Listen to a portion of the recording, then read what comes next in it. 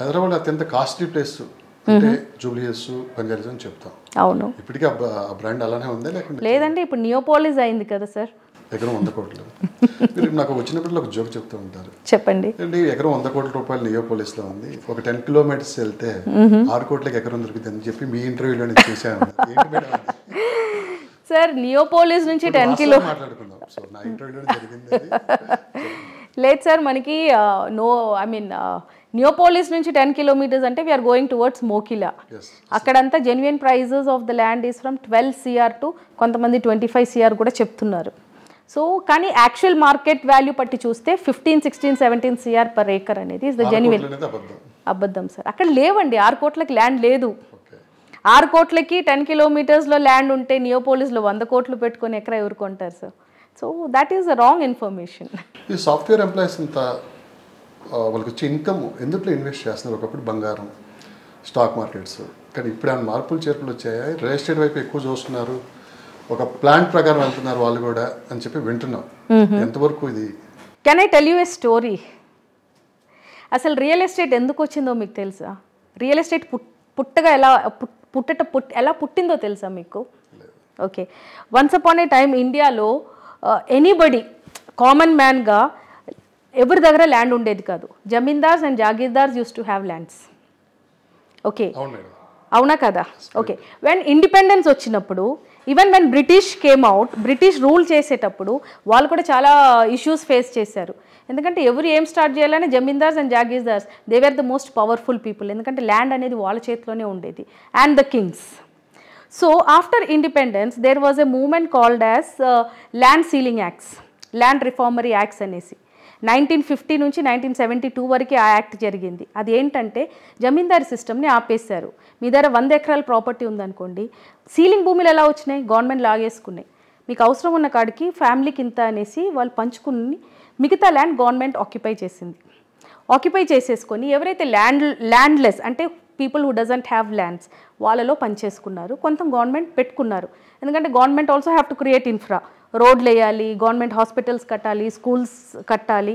So portion of the land was owned by the government and a portion of the land was given to people who never had lands అట్లా ఈ land I am the owner of a land అనే ఒక concept మన ఇండియాలోకి వచ్చింది. అంతవరకు own lands not everybody had okay ఆ nineteen seventy two నుంచి నైన్టీన్ సెవెంటీలో సీమి సీలింగ్ భూమిలో మ్యాక్సిమం గవర్నమెంట్ ఐ మీన్ పనిచేసుకున్నారనమాట కొంచెం వరకు గవర్నమెంట్ దగ్గర ఉంది. అప్పటి నుంచి ఎవ్రీబడి ఇన్ ద ఫ్యామిలీ అప్పట్ అప్పట్లో ఎలా ఉండేదంటే ఉమ్మడి కుటుంబాలు ఉండేటివి. పొలం చేసుకున్నారు పొలంలో వచ్చే ప్రాఫిట్తో బంగారు కొనుక్కునేవాళ్ళు. ఇంకా మిగిలితే పక్కనోడు పొలంలో కొంచెం తీసుకోవటమో లేదంటే ఇంకెక్కడో వెళ్ళి పొలం కొట్టేవాళ్ళు పొలమే కొనేవాళ్ళు. ఆ సిస్టమ్ అలాగనే కంటిన్యూ అయ్యింది. తర్వాత ఇంట్లో నలుగురు ఉంటే నలుగురికి జాబ్ రావటం వాళ్ళు వేరే సిటీస్కి వెళ్ళటము అక్కడ వాళ్ళకు ఒక నీడ్ జనరేట్ అవుతుంది. రెంట్కు ఉండకుండా ఒక ఓన్ హౌస్ కొనుక్కోవటం. సో ఇప్పుడు మీరు అడిగారు చూడండి నన్ను క్వశ్చన్ సాఫ్ట్వేర్ వాళ్ళు ఎక్కడ ఇన్వెస్ట్ చేస్తున్నారని. సో ఈ చదువుకునే పిల్లలు వేరే సిటీకి వెళ్ళి వర్క్ చేయటం అనేది software teachers okay manufacturing units uh I mean pilots ఇలా వెళ్ళటము. సో ఇల్లు కొనుక్కున్నాక next investment what he does is will buy a plot ఒకప్పుడు బంగారం కొనుక్కునేవాళ్ళు. కానీ ఇప్పుడు రియల్ ఎస్టేట్లోనే కొంటున్నారు. చిన్న జోక్ మేడం నేను ఒక సోషల్ మీడియాలో ఒక వీడియో చూశాను. ఆ, సాఫ్ట్వేర్ రంగంలో ఉన్న వాళ్ళకి పిల్లల్ని ఈజీగా ఇస్తున్నారు. పెళ్ళిళ్ళు అవుతున్నాయి. పొలం ఉన్నోడికి పెళ్ళిళ్ళు అవ్వట్లేదు. సాఫ్ట్వేర్ రంగంలో వచ్చి డబ్బు అంతా మళ్ళీ తెచ్చి ఎక్కడ పెడుతున్నారు? ఆ పొలమే కొంటున్నారు.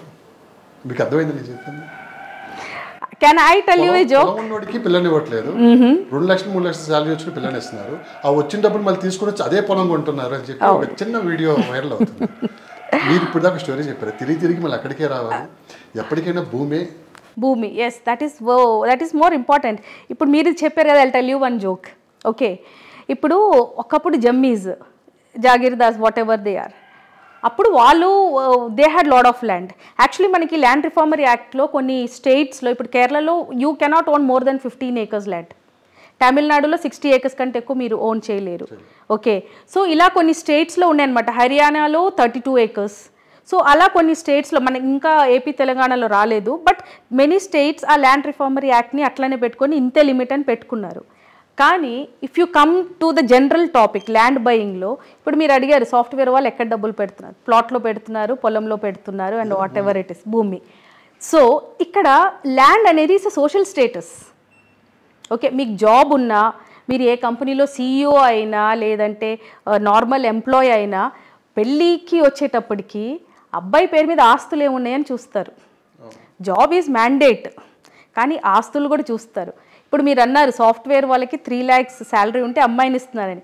కానీ దాని వెనకాల వాడికి ఎంత ఆస్తి ఉంది కూడా చూస్తున్నారు. ఎందుకంటే ఆస్తి ఉన్నవాడు ఈజ్ ద కింగ్ అలాంటి మార్పు ఇప్పుడు జరుగుతుంది. ఇప్పుడు ఇప్పుడు I let me tell you ఈ అసెట్స్ అనేది మనకి అన్నిటికంటే safe asset is land gold ఎంతవరకు safeguard చేయగలుగుతారండి? You can carry it wherever you go అదే మీరు ఒక piece of land కొనుక్కున్నారనుకోండి that is there it's permanent so దానికంటే safe investment we don't have a human బీయింగ్కి land land banking is his secured income అది throughout his life and it will also save him in his retirement so land whoever has that land is the king and that is the social status ఇప్పుడు see ఒక ఒక company CEO ఒక అదే కంపెనీలో మీరు అన్నారు పొలం చేసేవాడి ఆ పొలం వాడు కొడుకే ఉండొచ్చు కానీ వాళ్ళ ఊర్లో మూడు వందల ఎకరాల ల్యాండ్ ఉంటుంది. ఇక్కడ ఆఫీస్ బాయ్ చేస్తున్నాడు.